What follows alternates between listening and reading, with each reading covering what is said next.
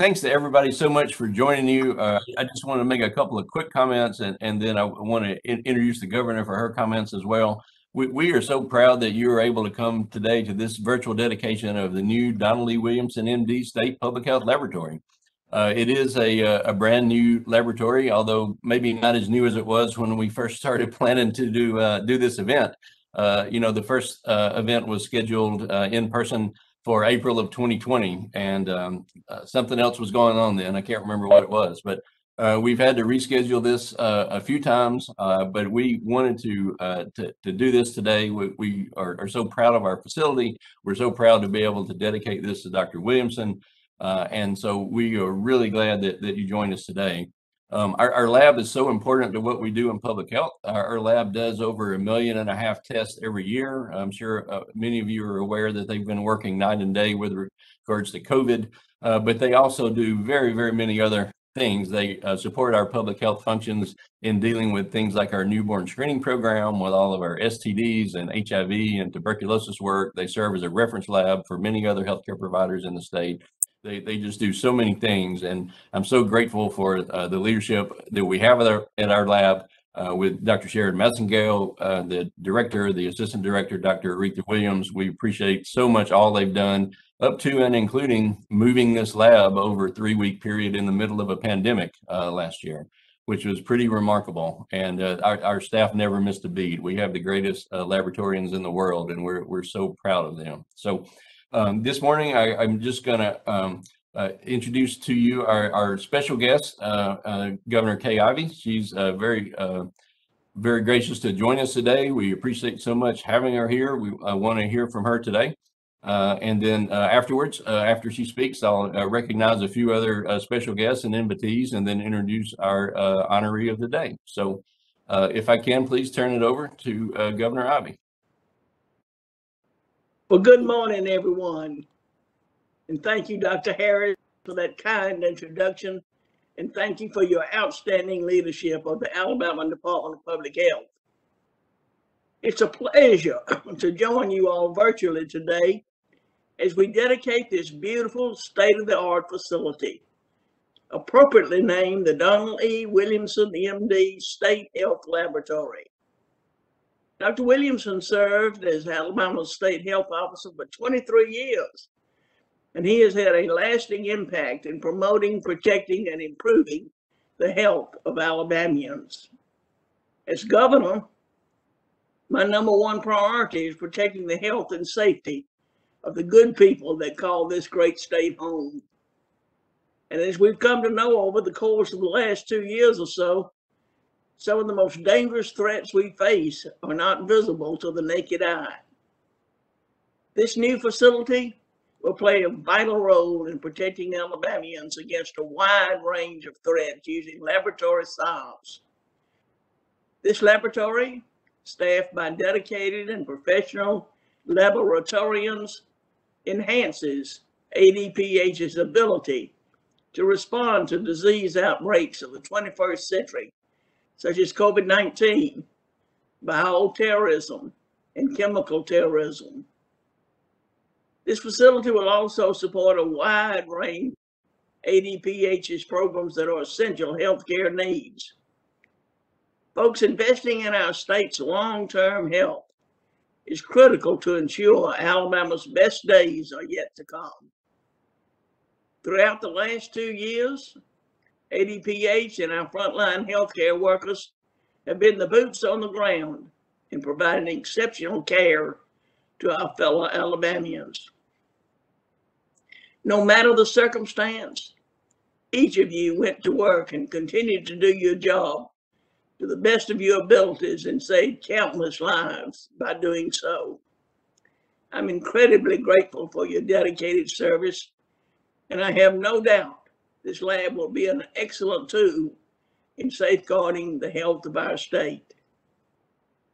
Thank you all for tuning in virtually today. May God continue to bless each of you and the great state of Alabama. Governor Ivey, thank you so much. We appreciate so much your leadership and all you do for our state. We have really appreciated the partnership we've had with you over the course of the pandemic, especially Uh, and again, thank you so much for taking the time to join us today. We, we really appreciate it. Um, I want to recognize uh, a few other folks who are joining us today. You can see perhaps on the list of attendees, there are a number of other people that, that I, I certainly want to mention today uh, before we uh, introduce uh, Dr. Williamson to you.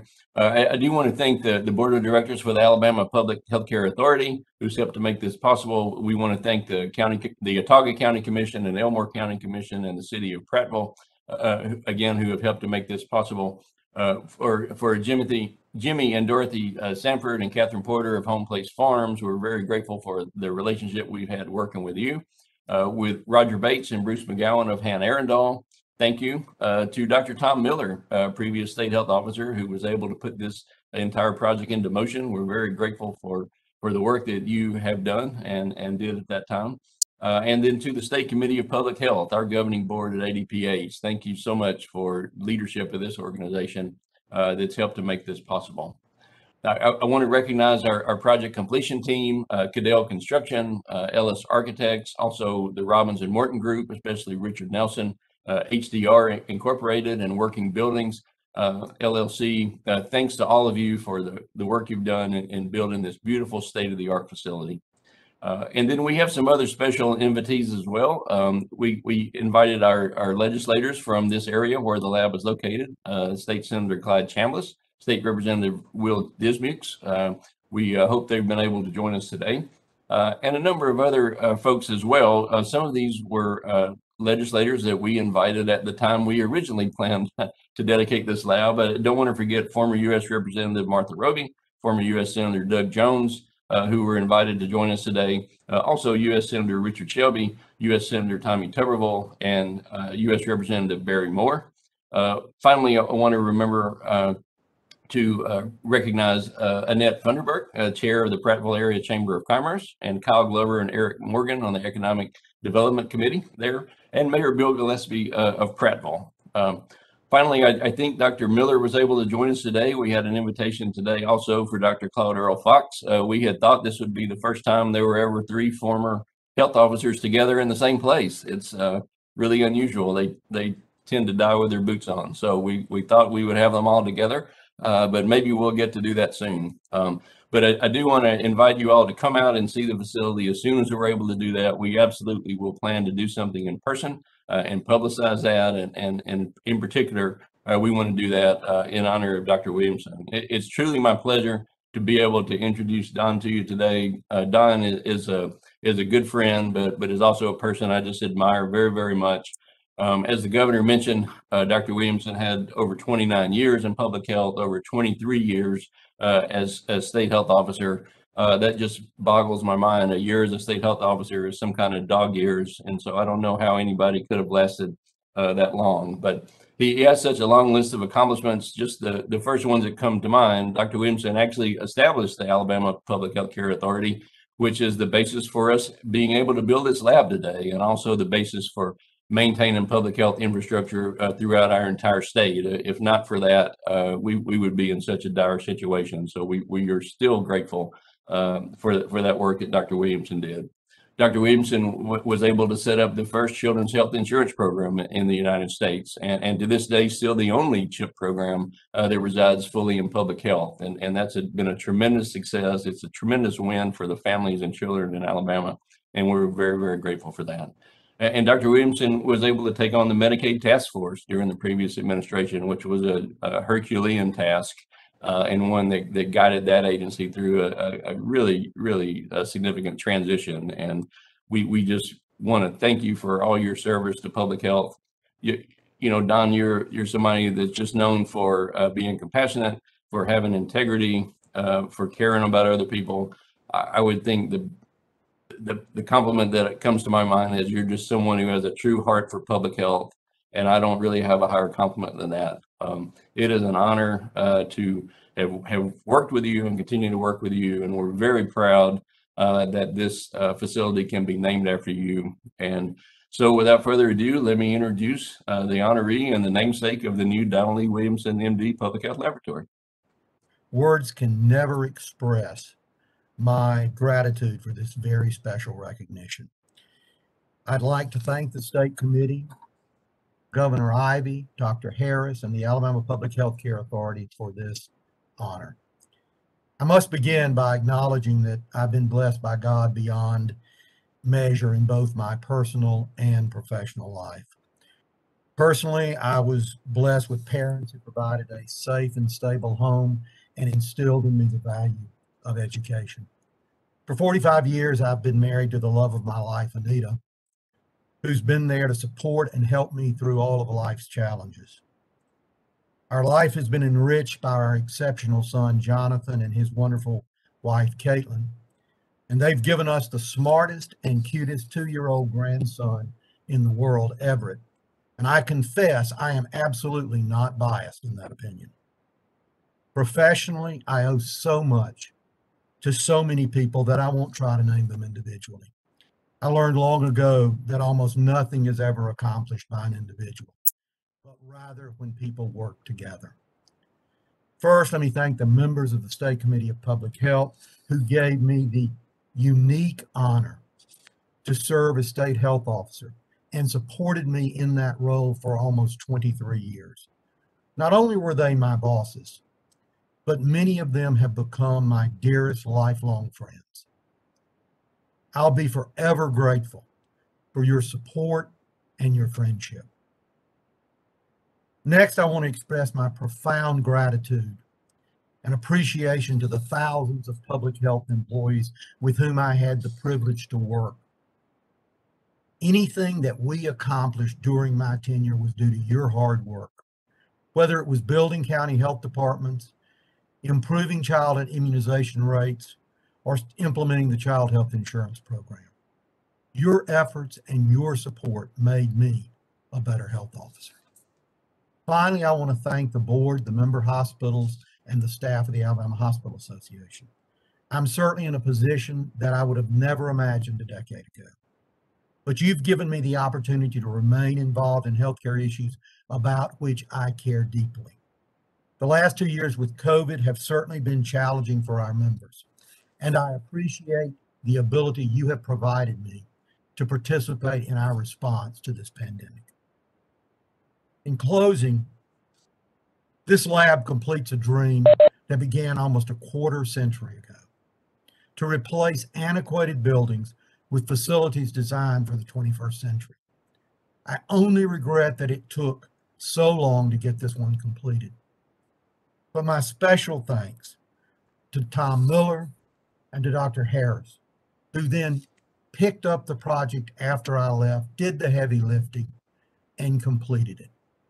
To me, this new lab is not only serves as a building to provide services, it is a symbol of public health's commitment to meeting the health needs of our state for generations to come.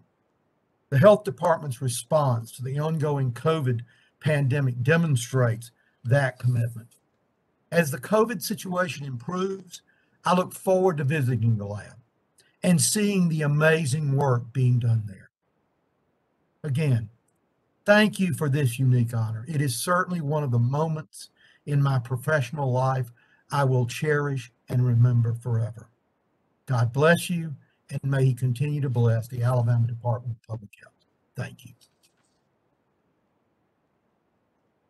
Dr. Williamson, thank you so much. Uh, we we really appreciate that, and again, we're just so so honored that we could dedicate this facility to you. Thank you for your service and your continuing service. We because we're uh, doing this uh, today virtually and don't have the opportunity to gather together, we actually have prepared a really brief video. It's only about three minutes long, just to show you some highlights of the facility to give you a sense of, of how it looks uh, and so I'm going to turn that over to our team now and we'll begin the video.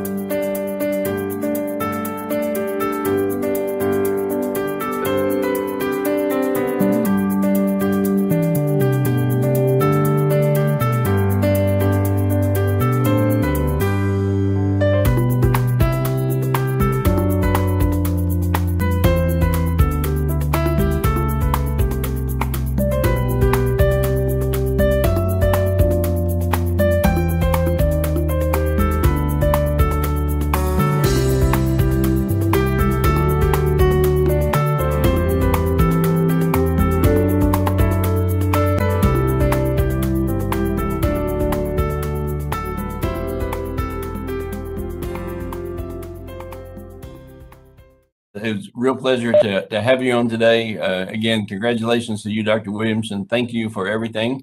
Uh, we will plan something again in person as soon as the world allows us to do that.